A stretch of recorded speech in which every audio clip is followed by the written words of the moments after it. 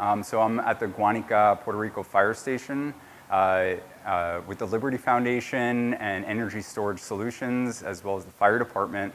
Uh, so we have uh, our solar system and battery storage system uh, here, uh, which powers the whole station. So when Hurricane Fiona hit the island two weeks ago, our solar system provided power for 11 days, and that's when the, the grid came back. so the firefighters were able to uh, receive 911 calls, operate their station, respond to emergencies. And so how the system works is that the, the, the sun powers the station during the day, and then at, and, and as well as the batteries, and then at nighttime or when it's cloudy, the batteries power the station um, fully so that the, the firefighters can continue to operate. So the Liberty Hotspot allows the firefighters to monitor their consumption as well as the production of solar power so that they are able to um, monitor the, the energy that they're consuming. And so the, the Liberty hotspots allow the firefighters to um, interact with the system um, so that they can have power for all day and all night. So if we don't have the Liberty hotspot, then the batteries will become drained. So if, if we don't have the Liberty hotspot, the firefighters do not know how much energy they're consuming. And once the batteries become too low, the system turns off and the station won't have power. Or they have to turn on their diesel generator. And as, as we know on the island after the hurricane, diesel supply became an issue.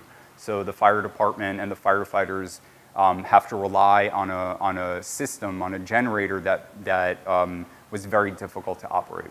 Uh, so here we have the batteries, uh, which, which is the loads. It, it's, it's just like your cell phone. It, it um, provides power uh, uh when the sun is not shining. Um, the gateway um, is, is kind of the, uh, the operations of the system. Um, so it, it, uh, it communicates between the batteries and, and the station. And uh, the inverter here, th this, uh, this tells us about the solar panels. So it tells us, it communicates the solar panels and, and how much they're producing. And if there's any issues with one individual panel, then it won't affect uh, uh the rest of the panels. So, so there is, um, there's, uh, this, the system is really protected. Um, it really protects itself and it allows us to, um, uh, for, for if something goes wrong in one part, it won't affect um, the whole system.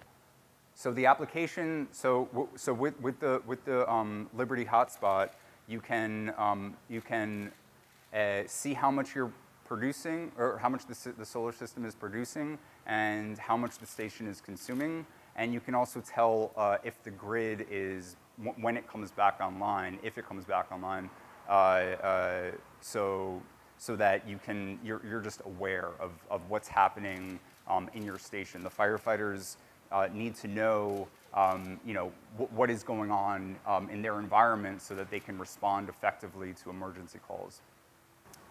Thank you, Liberty, for the donation of 19 hotspots to our solar and storage systems on fire stations, which have allowed the firefighters to monitor their energy loads so that they can respond to emergencies and have power day and night for the past two weeks after Hurricane Fiona hit the island.